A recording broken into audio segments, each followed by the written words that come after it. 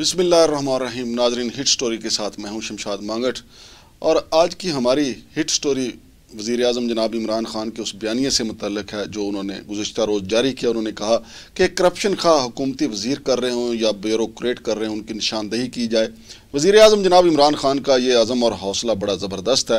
چنانچہ اس حوالے سے یہ بہت ضروری ہے کہ ہمارے ہاں ہمارا اپنا ادارہ پریس انفارمیشن ڈپارٹمنٹ جو صحافیوں کے ساتھ ظلم کر رہا ہے، جو صحافیوں کے حقوق پہ ڈاکہ مار رہا ہے، اس سے پردہ اٹھانا بہت ضروری میں نے سمجھا ہے۔ تو آج سے الحمدللہ ہم یہ آغاز کر رہے ہیں کہ خود صحافیوں کے ساتھ کہاں پہ ظلم ہو رہا ہے۔ تو اس حوالے سے یہ میرا پہلا ویلاگ ہے اور یہ سلسلہ مسلسل جاری رکھیں گے۔ چونکہ وزیر اعظم اور ان کی حکومتی ٹیم نے جو کام کیا ہے، اس کا بہتر امیج جو عوام کے سامنے پیش کرنا ہے، وہ P I D press information department کی ذمہ داری ہے۔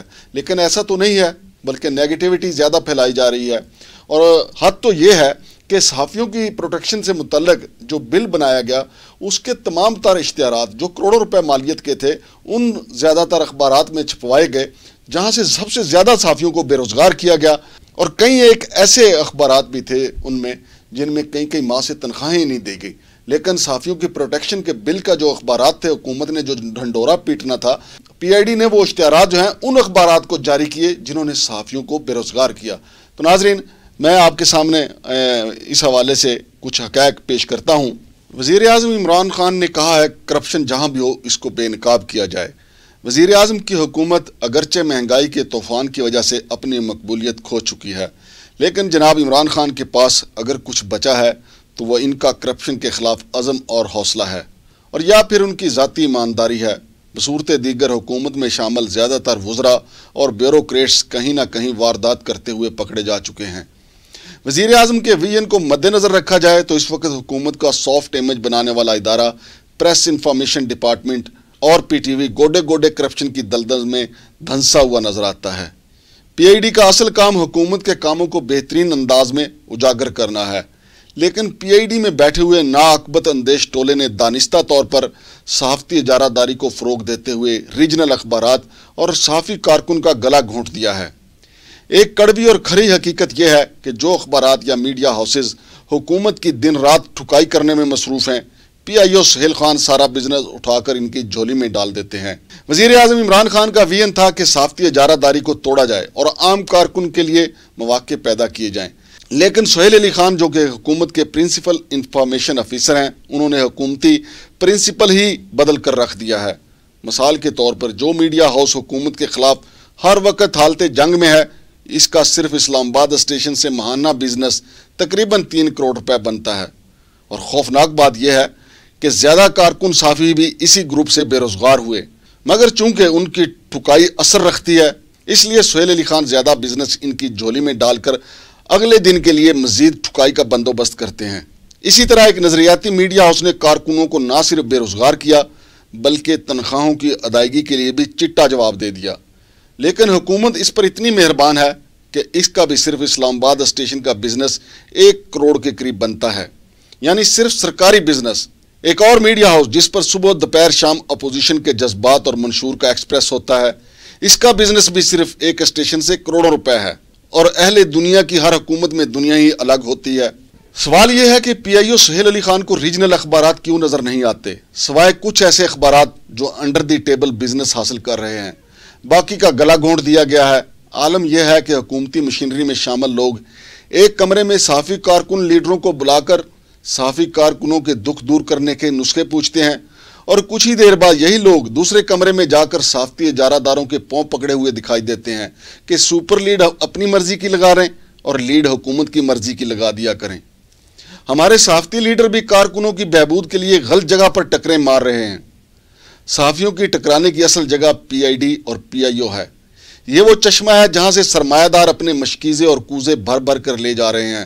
اور صحافتی کارکنوں کو پیاسا مرنے یا خودکشیاں کرنے پر مجبور کر دیا گیا ہے۔ ستم ظریفی تو یہ ہے کہ اے بی سی میں بیٹھے ہوئے لوگ بڑے گروپس کے پریس میں جانے کی جرت ہی نہیں رکھتے، لیکن اپنی زندگی کی جنگ لڑنے والے اخبارات کے پریس میں آ کر اس طرح بیٹھ جاتے ہیں جس طرح سود خور لوگ قرضہ داروں کے گھر کے باہر ڈیرا لگا لیتے ہیں۔ وزیر اطلاعات فواد چودھری صاحب سے صحافیوں کی توقعات اس لیے زیادہ تھیں کہ وہ تقریباً صحافی بن چکے تھے۔ اس لیے گمان کیا جا رہا تھا کہ وہ عام ورکر کا دکھ سمجھیں گے۔ لیکن انہوں نے یہ کام سہیل علی خان کے ذمے لگایا، جنہوں نے روایتی نسخے دے کر پہلے سے بھی بیماری کو زیادہ بڑھا دیا ہے۔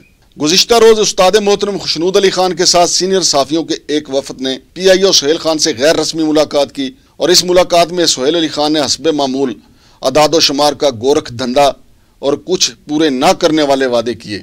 استاد محترم کی تجاویز اپنی جگہ مقام رکھتی ہیں، لیکن میری رائے کے مطابق ریجنل اخبارات اور مقامی چھوٹے اخبارات کو زندہ رہنے کے لیے اب ڈانگ سوٹے کی پالیسی اختیار کرنا پڑے گی۔ صحافیوں کو احتجاج کا مرکز پارلیمنٹ چوک نہیں، بلکہ پی آئی ڈی بنانا چاہیے۔ کیونکہ کارکنوں کا خون پینے والی جونکیں تو یہاں بیٹھی ہوئی ہیں۔ اب چونکہ وزیر اعظم کا حکم ہے کہ حکومتی اداروں میں ہونے والی کرپشن سے زیادہ پردہ ہٹایا جائے، لہٰذا پی آئی ڈی میں ہونے والی بدعمالیوں اور بدنوانیوں کے ساتھ ساتھ پی ٹی وی میں ہونے والی کرپشن کو ہم بے نقاب کرتے چلے جائیں گے۔ سہیل علی خان صاحب، آپ اب صافتی اجارہ داروں کی نوکری کریں۔ ہم صحافی کارکنوں کی جنگ پی آئی ڈی سے شروع کریں گے۔ جی تو ناظرین، یہ تھا ہمارے صحافتی مسائل کا ایک بالکل طائرانہ جائزہ۔ اگرچہ جو میں نے حقائق پیش کیے ہیں، اس کی وجہ سے پی آئی ڈی میں بیٹھے ہوئے جو لوگ ہیں، ان کے پیٹ میں ضرور مروڑ اٹھیں گے۔ کیونکہ یہ سیدھا سیدھا ان کے خلاف ایک للکار ہے، لیکن کوئی بات نہیں، اگر وہ کوئی ہمارے خلاف ایکشن لیں گے، ہمارے اخبارات کو کے خلاف ایکشن لیں گے، عدالتیں آزاد ہیں، ہم عدالت چلے جائیں گے، لیکن اب یہ لڑائی اس طریقے سے نہیں لڑی جائے گی کہ پی آئی او کو کہا جائے پی آئی او سے گزارش کری جائے، کیونکہ پی آئی او نے ساری صحافت کو اٹھا کے چند گروپوں کی لانڈی بنا دیا ہے، ان کی کنیز بنا دیا ہے، اور وہ سارے مشورے انہی سے لیتے ہیں کہ کرنا کیا ہے، جو ان کی ٹھکائی کرتے ہیں۔ لہٰذا اب میں نے یہ ضروری سمجھا ہے کہ اب پی آئی ڈی کی ٹھکائی دن رات کی جائے۔ پچھلے تین سال میں جتنی کرپشن پی آئی ڈی میں ہوئی ہے اور پھر پی ٹی وی میں ہوئی ہے اور یہ کرپشن جاری ہے، یہ سیلاب ہے کرپشن کا۔ تو انشاءاللہ اس کو اس طریقے سے بے نقاب کریں گے کہ پی آئی او سہیل خان کو یہ ضرور اندازہ ہو جائے گا کہ اس طرح نہیں چلے گا جس طرح وہ کر رہے ہیں۔ انہیں چھوٹے اخبارات ریجنل اخبارات کا خیال کرنا پڑے گا۔ نہیں کریں گے تو ہماری جنگ جاری ہے اور آئینی اور قانونی جنگ ہے۔ میں لانگ مارچ کرنے والے صحافیوں دھرنا دینے والے صحافیوں اور اس کے علاوہ پریس کلب کے باہر احتجاج کرنے والے صحافیوں سے میں گزارش کرتا ہوں کہ لانگ مارچ سے عام کارکن کو کوئی فائدہ ہونے والا نہیں ہے، دھرنوں سے عام کارکن کو کوئی فائدہ ہونے والا نہیں ہے۔ چونکہ بڑے گروپس نے ہزاروں کارکنوں کو بے روزگار کر دیا ہے۔ اور یہ سب جانتے ہیں کہ ہمارے ساتھی کیوں خودکشیاں کر رہے ہیں۔ اور یہ بھی جانتے ہیں کہ کئی لوگ کرونا کی وجہ سے انتقال کر چکے ہیں۔ ان کے بچوں کا کیا حال ہے؟ یہ معاملہ پارلیمنٹ کے سامنے یا اپوزیشن کے ساتھ مل کے احتجاج کرنے سے حل نہیں ہوگا۔ جب تک پی آئی ڈی کے سامنے ہم نہیں بیٹھیں گے، پی آئی ڈی کے خلاف احتجاج بلند نہیں کریں گے۔ ریجنل اخبارات، چھوٹے اخبارات سے بے شمار لوگوں کا رزق جڑا ہوا ہے۔ لیکن پی آئی ڈی میں بیٹھے ہوئے افلاطون اور جو ارستو ہیں، انہوں نے اپنا ہی فارمولہ نکالا ہوا ہے۔ وزیر اعظم نے ان کو نہیں کہا کہ چار بڑے اخبارات انگریزی کے اور چار بڑے اخبارات اردو کے صرف ان کو بزنس دیا جائے۔ اگر یہ فارمولہ ہے تو پھر وزیر اعظم کو بتایا جائے کہ جو روزانہ کی بنیاد پہ حکومت کی کلاس لی جاتی ہے ان اخبارات میں، تو وہ پھر درست ہے۔ تو پھر پھر چھوٹے اخبارات یا صحافیوں کا نام نہ لیا جائے، صحافیوں کے نام پہ یہ سیاست نہ کی جائے، صحافیوں کی پروٹیکشن کے نام پہ جو بل بنا کے جو ناب علی جو ہمدردی کی جا رہی ہے، وہ کس بات کی ہے؟ صحافی تو خودکشیاں کر رہے ہیں، صحافی تو بھوکے مر رہے ہیں، اور اس کے ذمہ دار کون ہے؟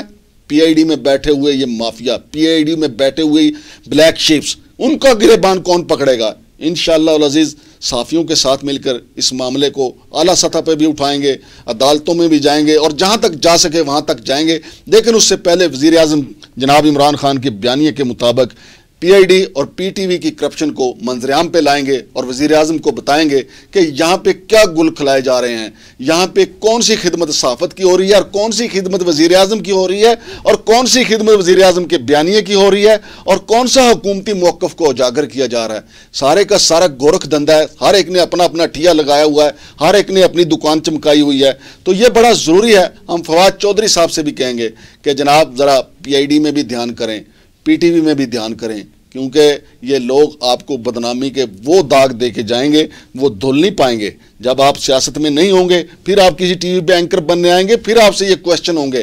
کیونکہ ابھی تو آپ صحافیوں سے تھوڑا دور ہو گئے ہیں، حالانکہ آپ کو مزید قریب ہونا چاہیے تھا۔ آپ صحافیوں کے بہت زیادہ مسائل حل کر سکتے تھے، لیکن ظاہر ہے، بنیادی طور پہ تو آپ بھی سیاست دان ہی ہیں، اس لیے آپ نے صحافیوں کے مسائل حل کرنے کی بجائے اپنا جو حلقہ اباب ہے، آپ کا جو ووٹ بینک، آپ کا اس طرف دھیان ہے، ہونا بھی چاہیے آپ چونکہ سیاست دان ہیں، لیکن تھوڑا سا، زیادہ نہیں، تھوڑا سا حق اب صحافت کا بھی آپ پہ ہے کہ آپ صحافیوں کے مسائل کی طرف توجہ دیں اور جو لوگ صحافیوں کا حق چھین رہے ہیں، آپ کی گود میں بیٹھ کے، آپ کے نیچے بیٹھ کے ان کا کلا کما کرنا بڑا ضروری ہے۔ ورنہ یہ حکومت کو بدنام کرنے کے لیے آپ کا P I D, press information department کافی ہے اور یہ کر رہا ہے۔ اور ویسے بھی کیا خوبصورت شاعر نے کہا تھا قتیل اس سا منافق نہیں جو ظلم تو سہتا ہے، بغاوت نہیں کرتا۔ تو یہ اس سلسلے کی، بغاوتی سلسلے کی یہ پہلی ایک کڑی ہے۔ شمشاد مانگڑ کو اجازت دیجیے اللہ حافظ۔